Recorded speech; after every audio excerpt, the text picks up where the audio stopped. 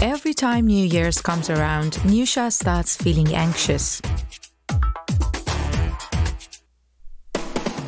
At night, while everyone is celebrating, she hides, an overwhelming fear taking grip of her. Even though she knows the fireworks are harmless, once again she's fleeing her hometown. Bombs flying, buildings crashing. On the street, Samuel is always vigilant. If someone even accidentally bumps into his wife or daughter, he becomes very upset and overreacts. This causes problems in his relationship. They live in a safe city. Why does he see danger lurking in every corner? Although Samuel tries hard to relax, he feels his body is wired to expect violence. Every outing is exhausting.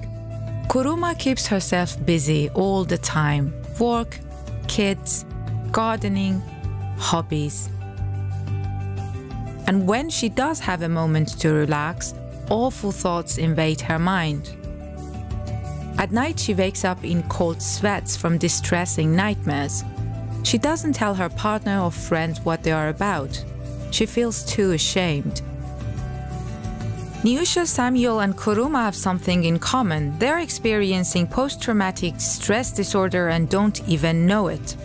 Post traumatic stress disorder affects millions. Recognizing PTSD is an essential step in getting help. Although everyone's experience is different, there are a set of common symptoms.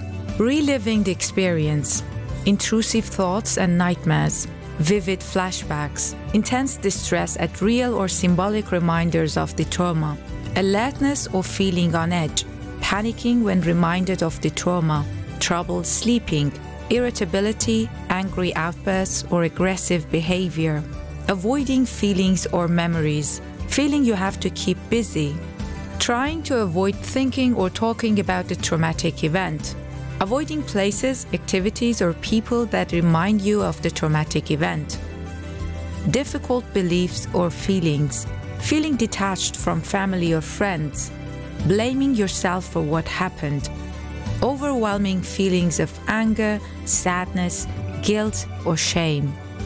They may wonder doesn't everyone experience something awful at some point? Why can't I move on with my life? What's wrong with me? Whether someone develops PTSD after a traumatic event depends on several factors, but it is not a personal failure. If you have PTSD or think a friend or loved one is experiencing symptoms of PTSD, it's crucial to seek help. A mental health professional who specializes in helping people heal from trauma can treat PTSD. Do not suffer in silence. For more information, check out www.handbookgermany.de.